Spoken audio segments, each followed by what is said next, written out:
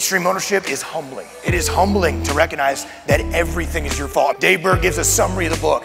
Everything is your fault, the end. People come up to me all the time. Once you said it last night, man, I, I just wish I had this stuff 20 years ago. Guess what? So do I.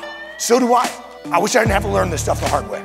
I still make mistakes all the time, way more often than I'd like to admit. The power of extreme ownership, though, it, it's, it's humbling, but it's also liberating. It is liberating to recognize that everybody makes mistakes. Nobody's infallible. Nobody has all the answers. And so what you have to do is reflect on those things, what you could have done better. How could you improve that situation? And that's going to enable you to learn lessons, apply those lessons going forward so that you and your team are better.